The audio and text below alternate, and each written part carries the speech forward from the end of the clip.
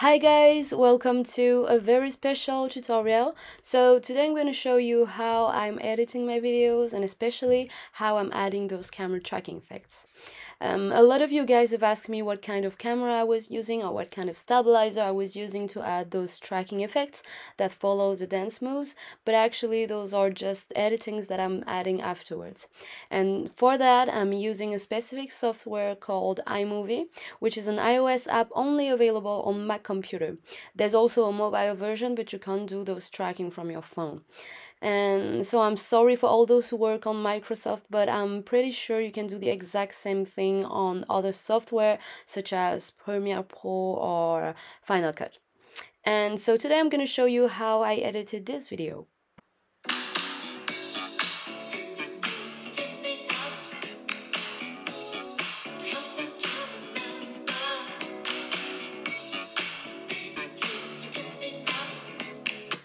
Okay, let's get down to work. So the first thing you're gonna do is to launch your iMovie app, then create a new movie project. And then from here, you just need to go and select the video you want to edit and just drag and drop it in the editing bar. Then the very first thing you want to make sure of is to flip your video to the side like this uh, so it takes the whole editing screen and I know this is quite annoying but I haven't figured out any solution yet to do these editings without breaking my neck so please if you have a solution just just let me know.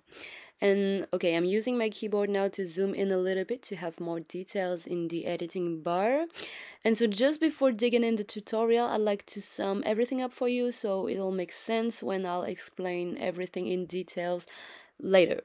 Okay, so basically what you have to do is to observe your dance movements first and then think about what kind of frame movements you want to add to it like zooming in, zooming out, left to right, this kind of uh, movements.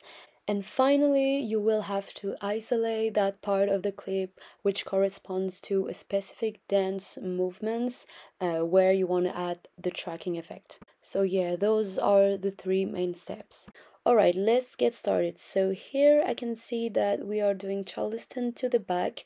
And so as we are stepping back, I'd like to add a zoom in movements to it. Now I have to find when the movement stops. So right here, so I just have to click and then go to modify and split clip. As I told you, I want to isolate the video clip with the movement so I can add the tracking to it. And so now I'm trying to find the beginning of the movement, so the first Charleston, and again I click, then go to modify, and again I have to split the clip right here. Alright, so now I have a first clip, but I don't want any specific movements to it, so I'm just gonna leave it alone then comes the second clip where I want to add the zoom in effect. So I have to go to this little frame tools and I'm gonna use the Ken Burns option. Okay, so now you can see there's a starting and an ending frame. So I'm gonna play on that. So for the end frame, I want to make it closer to us so I can add the zoom in effect. So I'm gonna make sure um, it is well centered uh, on us too. Right, and that's actually it. So i'm going to show you how it looks like. So you see it's zooming in as we're stepping back. But as you might notice there's a little gap between the frames when i'm going on to the next clip you see? Because i didn't apply the zoom in on the next clip. And so that's what i'm going to do now I'm just gonna reiterate what I did before. So now I'm just observing the next dance movement. So we're just doing some claps. So I don't want any movements to it. So I'm just selecting the clapping part until here. So just click and then again modify and split clip.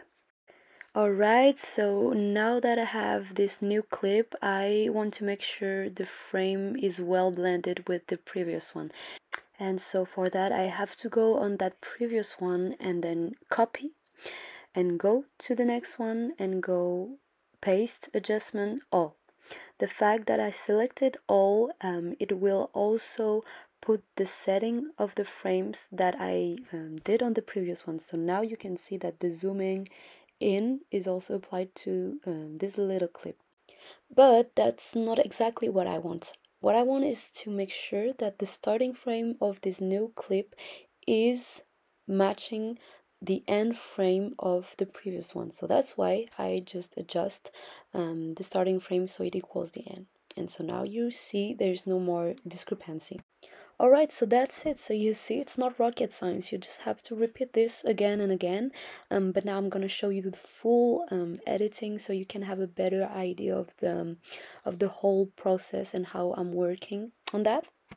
So I can see that we're moving uh, from right to left now until this moment. So again, I'm going to do the splitting and uh, do the same thing. So copy the previous um, clip frames to the next one. So paste, adjustment, all. And so you can actually see that the end is equals the beginning because I didn't do any movements to the previous one.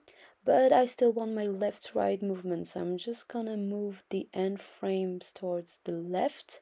And so you can see it's following us while we're jumping to the left.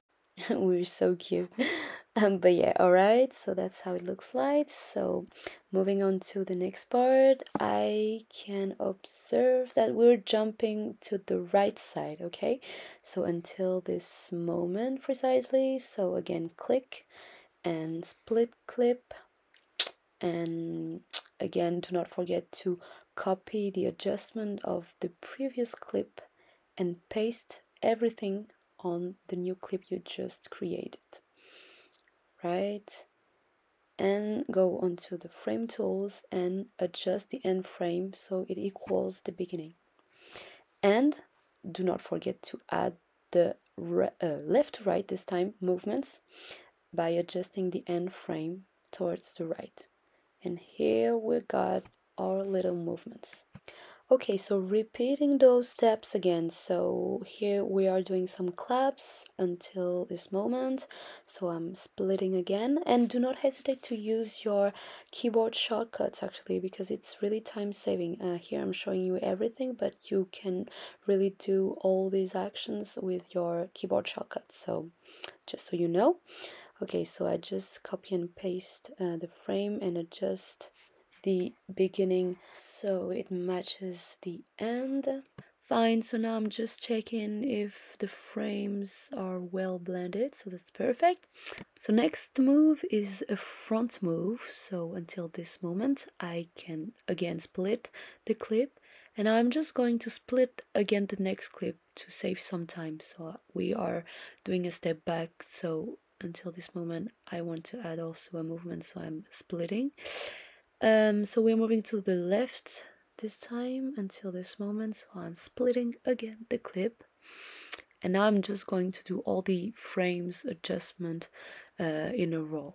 So remember to copy the previous clip frame adjustment to the next one here uh, and adjust. So here I have nothing to adjust because I didn't add any movements to the previous one, but I can add the front movements by putting the end frame towards the front. Then again copy and paste the frames adjustment to the next step and matching the end and the starting point and then moving the end uh, frames towards the back because we are stepping back. Okay again do the copy and paste onto the next uh, clip and adjust the start so it matches the end. And again moving the end towards the left because we are moving to the left. And this is the result. Cute. All right so we are almost done now so just please stay with me until the end. So now i just need to repeat the exact same steps until the end um, because we are doing the same dance moves but to the other side. So i have to split the clip while we're doing the front move, then split the clip again while we're doing the back step. And normally until the end, I don't have to split anything anymore. And okay, so I don't need to explain anything anymore. I think you got it now. I have to copy and paste and matches the end with the beginning and move the end frame where I want it to be um, at the end. So towards the front, then to the back, etc. So I hope that this makes sense for you guys because I'm so used to it now. I'm not sure that I managed to make it understandable for you. So if you have any question, just um, ask me down below in the comments. But yeah, the more you'll do it and the easier it will get. Um, personally, it's taking me now around 15 to 20 minutes. So yeah, you just need to make sure to stay calm and patient to make everything successful. But here's the result, guys.